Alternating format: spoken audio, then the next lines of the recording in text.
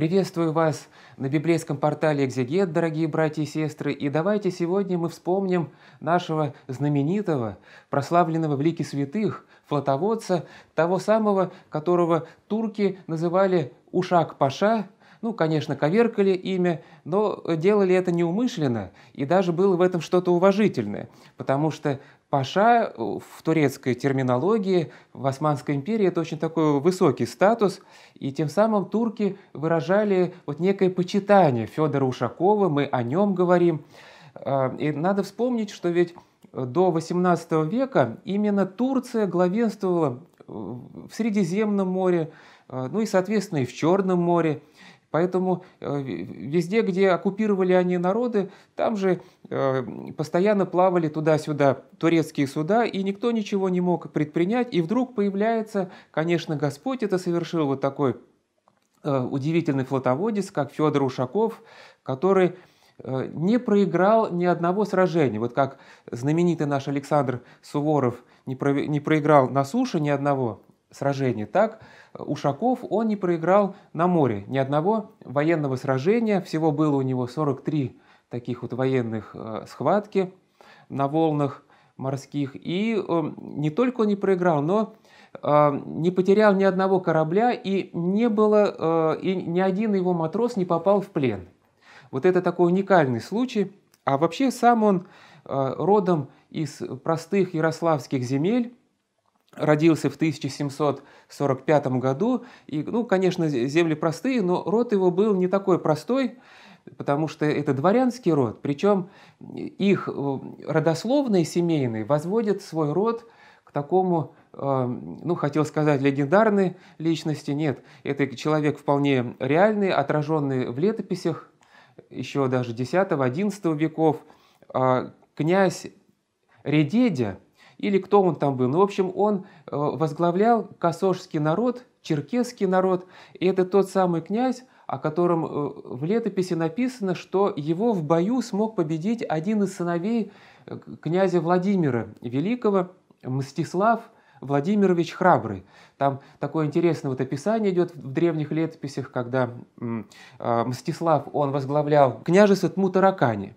Вот, это южные пределы нашей Древней Руси, а навстречу ему выходит Редедя со своим войском, и вот этот Редедя, он был, конечно, придерживался язычества в то время, а князь Мстислав, он уже христианин, он крестился вместе со своим отцом, князем Владимиром, вот.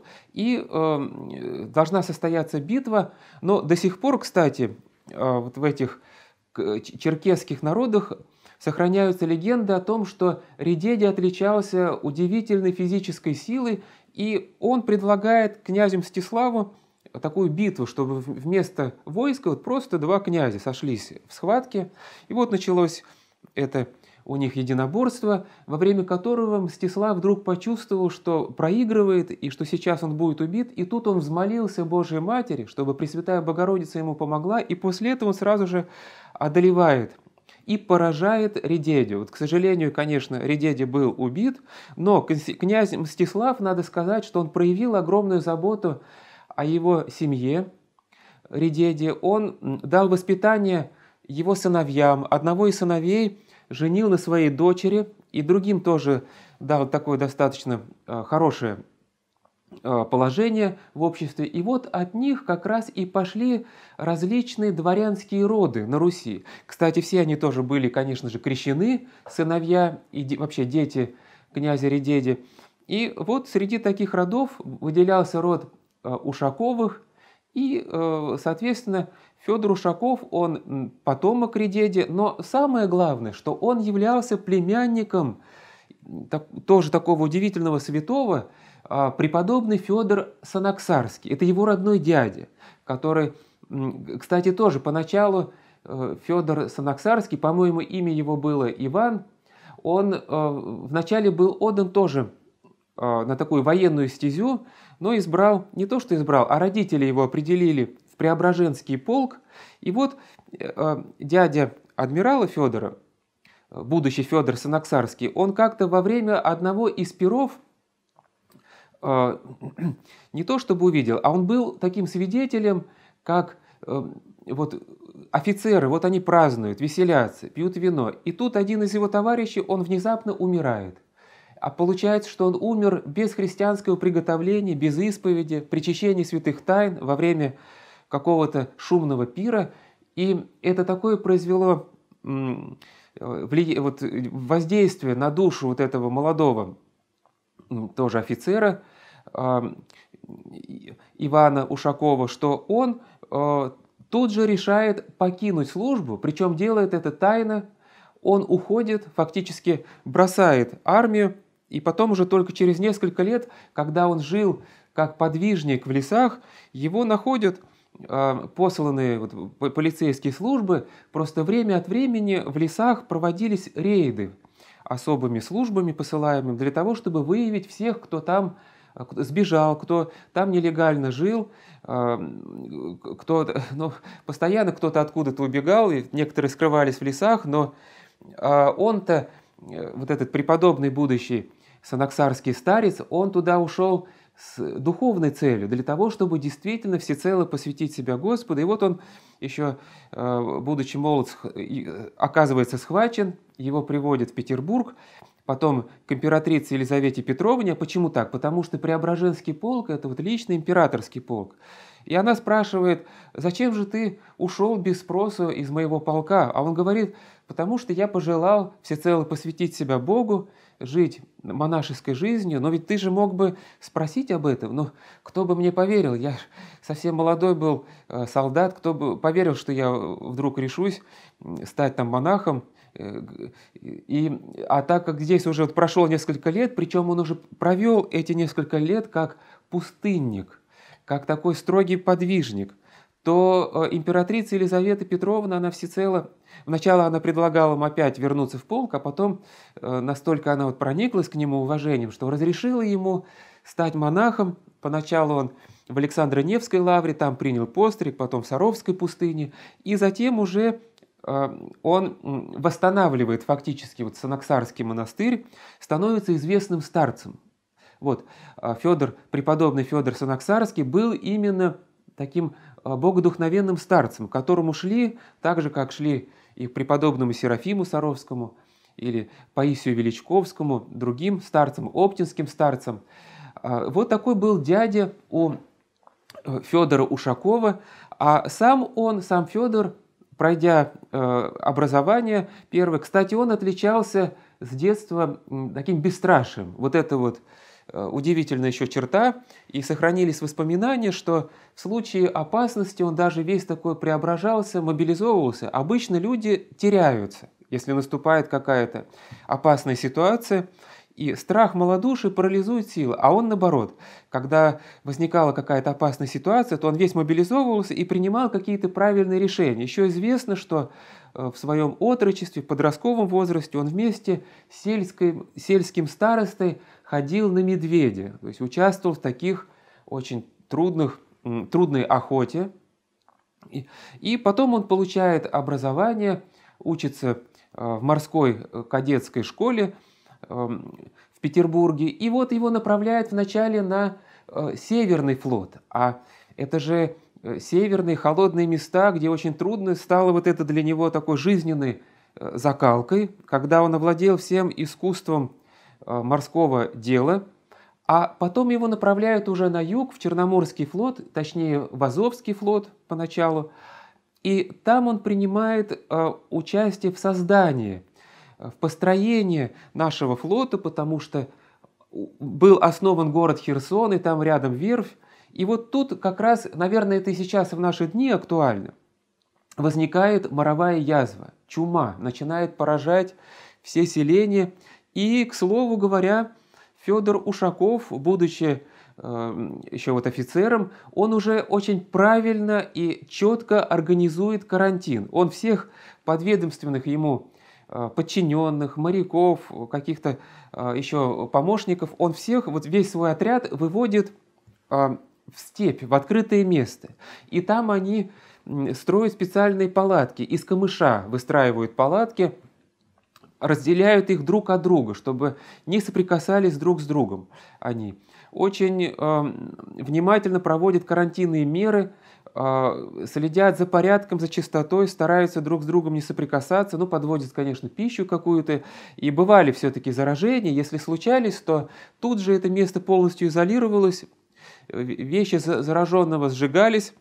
Вот. Но благодаря его карантинным мерам его отряд понес самые меньшие потери, то есть погибших от чумы было в несколько раз меньше, чем у других, и у него эта эпидемия закончилась намного раньше. И благодаря вот этим мерам строительство флота, оно продолжалось успешно.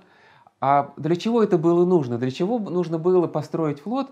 Именно для того, чтобы противоборствовать э, Турции, которая постоянно наседала на Россию, и нужно было отстоять Крым, закрепить за собой Крым. Потому что э, Турция, которая когда-то вот очень э, ну, влияла на Крымский полуостров, и э, крымские э, ханы татарские, они находились в зависимости, вассальной зависимости от э, Османской империи. И вот когда Россия Крым вернула себе, то нужно было еще отстоять, отстоять этот полуостров. И успели вовремя построить корабли, как Турция начинает войну. И вот именно в этой войне, как раз а, в русско-турецкой войне, э, Федор Ушаков и проявил себя как гениальный, такой талантливый а, военачальник. Он разработал такую э, новую совершенно тактику действия кораблей.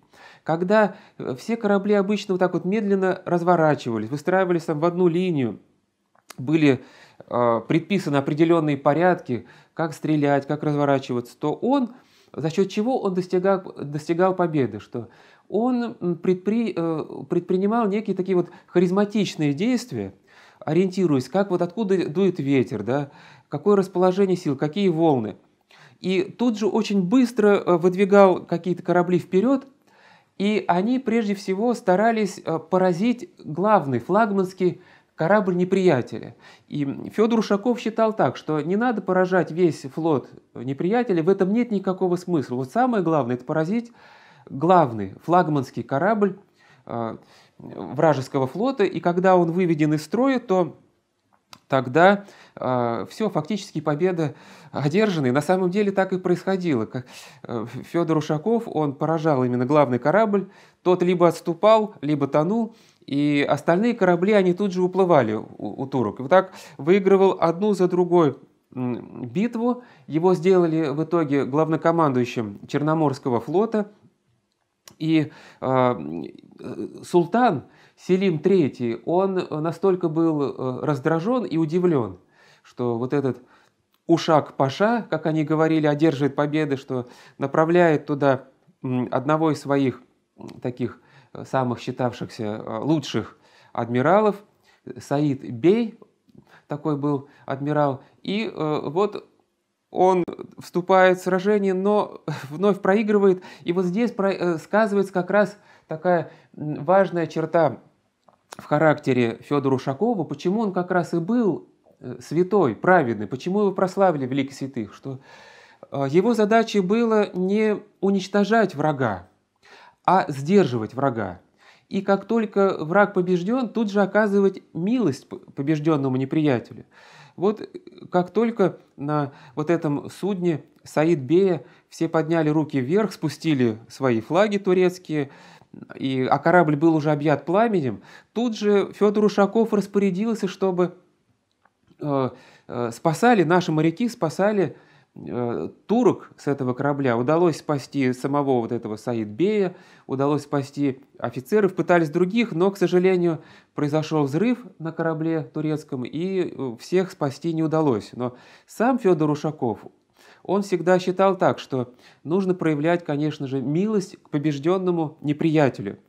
И э, после вот этой победы султан турецкий Селим направляет и приглашает еще более такого страшного врага из Алжира, Сеид Али его имя, э, который пообещал, пообещал во что бы то ни стало э, разбить русский флот, а самого Федора Ушакова привести пленным к султану. Ну, повторим, что в итоге не только ничего не получилось, и вообще из флота Федора Ушакова ни один матрос не попал никогда в плен к, неприятелям. И э, вновь вот эта вот разработанная тактика Ушакова, она принесла свои плоды, так что флот турецкий был разбит, и корабль самого Сиид Али, он, э, будучи поврежден, плыл, плыл, плыл, вот он приплыл к, к, к Стамбулу, и в глазах самого императора затонул.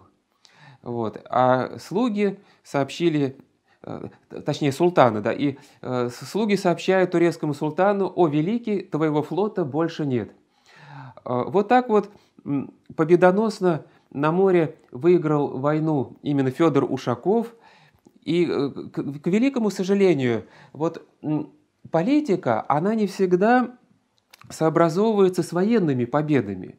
И военачальники, они Э, думают одно, а политики другое. И получилось так, что проходит какое-то небольшое время, и э, только вот недавно совсем Федор Ушаков воевал против турок, а тут вдруг из-за политической ситуации ему пришлось воевать вместе уже с турками, э, возглавлять такую совместную эскадру уже против французов, потому что французы усиливались и составлялись антифранцузские коалиции – Вначале первая коалиция, потом вот вторая, и во время второй антифранцузской коалиции Федора Ушакова делают главным адмиралом, ему дают в подчинение э, турецких разных адмиралов, но, как он сам потом вспоминал, что они только мешали, э, они все время боялись вступить в дело, и нужно было их как бы содержать, там, помогать им, учить их морскому ремеслу, учить их воевать, а толку от них не было никакого, при этом турки отличались чрезвычайной жестокостью. Вот в чем как раз проявилась святость Федора Ушакова, в том, что когда они э, захватывали, освобождали от французов Ионические острова, то турки пытались очень жестоко поступать захваченными. Ну, мы знаем, что бывает так, они отрезают головы захваченным. Э, и Федор Ушаков распорядился э, спасать французских пленных от, э, от турок, то есть фактически от тех, кто вроде бы вместе с самим Федором Ушаковым э, участвует в этой военной операции. И был такой даже случай, когда турецкий адмирал приходит к Федору Ушакову и говорит, что я решил пойти на одну военную хитрость и хочу предложить это вам. Э, Ушаков спрашивает, ну в чем же эта военная хитрость? Тут объясняет, а вот в том, что у нас же накопилось много французских пленных, и они уверены, что вот согласно вашему обещанию вы их отправите на родину. Так вот давайте мы ночью, когда они будут мирно спать, нападем на них и всех их уничтожим, вырежем. Вот. Ну и Федор Ушаков настолько был возмущен, что категорически отказал и приказал охранять этих французских пленных. А турецкий адмирал, он недоумевал, почему Федор Ушаков не может понять его военной хитрости. Вот. В чем тут хитрость, конечно, трудно э, тоже предположить, но есть что-то вот от подлости, от нехорошей такой человеческой подлости. Вот Федор Ушаков, как действительно праведный святой человек, он м, не ставил целью уничтожения, кровопролития, тем более насилия. Да, он был включен в эти вот войны, это человеческое несовершенство, где для того, чтобы государство, православное российское государство существовало, нужно одерживать победы. И это связано тоже с пролитием крови, хочешь ты или не хочешь. Но э, при этом сам от жестокости ты сторонись. И вот Федор Ушаков как раз всегда следовал этому принципу, проявляя удивительную милость ко всем пленным, и к, к турецким пленным, и к французским пленным. Поэтому, когда освобождали они Ионические острова, то э, везде местные жители, ну, местные жители были греки, они открывали свои двери именно русским воинам. Не туркам, и, а французов они тоже не очень-то любили. Вот, в общем, и там Федор Ушаков смог одержать вот эти удивительные победы. Ну, к слову, надо сказать, что прошло еще не так много времени, что-то там около 9 лет, по-моему, и опять эти Ионические острова тоже из-за сменившейся политической ситуации уже Александр I, отдает обратно французам. То есть понимаете, каково вот этим нашим адмиралам, полководцам, военачальникам, которые достигают победы путем невероятных усилий, путем вот жертвенности, э, пролития своей собственной крови. И вдруг политики одним росчерком пера меняют эту ситуацию. Только что воевали с турками, теперь турки вроде как бы друзья, но тоже на некоторое время. Э, забрали у французов острова, потом политики тут же им опять вернули. То есть политика не всегда и не настолько вот дело чистое. И Федора Ушакова это очень расстраивало. И потом он, конечно же, э, вот уходит в отставку. И он едет куда? А он едет как раз к монастырю, где жил его дядя. Но дядя уже был почивший, преподобный Федор Санаксарский, его дядя. А Федор Ушаков поселяется недалеко от Санаксарской обители. Э, он туда и жертвует что-то. Но самое главное, он постоянно ходит на богослужение, он фактически включается вот в молитвенную монастырскую жизнь. Каждый воскресный, праздничный день, день э, памяти того или иного святого, он проводится исключительно в монастыре, а в дни Великого Поста поселяется на целой седмице, чтобы участвовать в богослужениях, а ведь его дядя, преподобный Федор, он завел там очень длинные богослужения. Вот в день э, служба Э, длилась примерно около 9 часов. Общая служба, если вот утром, вечером взять, вот общее э, служение монастырское, около 9 часов. А в праздничные дни, когда все ночные, до 12 часов. До 12 часов в день. И вот его племянник, праведный Федор, он включается в этот монастырский жизнь и э, ведет жизнь фактически как монах. И действительно, вот почему он прославлен в лике святых? Ведь много было ну, может быть, не так много, но были у нас непобедимые еще полководцы, а, были те, кто значительно вот укреплял и наш флот, и нашу армию, но Федор Ушаков все-таки отличается. Почему? Потому что он вел еще и личную, очень чистую, безукоризненную нравственную жизнь. Он не был женат, но он жил как монах. Он не был замечен в каких-то распутных связях он э, регулярно молился, и даже корабли э, у него носили имена церковных праздников, например, Рождество Христово, или Преображение Господне, или Святой Павел, вот так назывались его корабли. И постоянно он все время вот обращался к Господу на тех же Ионических островах, там, э, на острове Корфу, Киркора, там э, мощи святителя Спиридона Тремифунского, и вот они были торжественно вынесены, моление, служба совершена святителю Спиридоном. А когда, кстати, мало кто знает, или точнее, мало кто вспоминает, что э, Федор Ушаков помогал Суворову, когда освобождали Южную Италию. Суворов он на, на суше, э, Ушаков с моря, и взяли Неаполь, потом еще какие-то вот места и, и вошли даже в Рим. Так вот, э, тоже молились святителю Николаю Чудотворцу, мощи которого в городе Баре находится. И святой э, Федор Ушаков, он действительно вел такой вот чистый, э, простой образ жизни, сторонился каких-то интриг, э, не участвовал ни в каких вот подковерных политических движениях, сторонился зависти – тщеславие и вот его личная чистота, ведь, понимаете, и в армии, и на флоте очень тяжело сохранить чистоту. Многие ругаются, сквернословят. А, кто в злобе, кто в негодовании, кто блудит, кто чего. А вот тут вдруг а, на самом деле не просто вот высоконравственный, а святой. Святой полководец, святой адмирал – и это э, приводило к тому, что его уважали все. Его уважала и императрица, а потом императоры. Хотя с императорами как раз вот не всегда складывалось э, так вот легко, вот в частности с Александром Первым, но все равно его уважали. И его уважали простые матросы. Не только за его таланты, но и за его личную, э, чистую, нравственную жизнь. Поэтому слава Богу, что морское вот это вот дело, да, морское военное искусство, оно освящено таким праведным человеком, и дай Бог, чтобы и э, другие сферы вот тоже нашего христианского делания, они тоже освещались примерами святых людей. вспоминая святого Федора Ушакова, мы скажем, что он и сейчас покровитель наших военно-морских сил, и, кстати, военно-воздушных тоже, стратегической авиации. Вот, как ни странно, он считается также покровителем военной стратегической авиации. Ну, может быть, потому что он уже небожитель, и то, что летает в воздухе, тоже находится под его покровительством.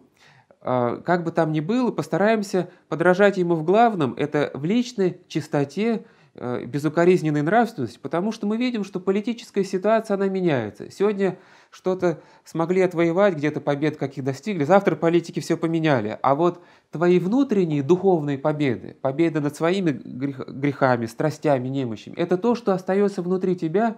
Никакой политик, никакая а, изменившаяся внешняя жизненная ситуация, она этого у тебя не отнимет. Поэтому дай Господь нам быть вместе со святым праведным Федором Ушаковым а, в обителях Небесного Царства, в чем да поможет нам Господь по молитвам своего праведного ходатая святого Федора. Аминь.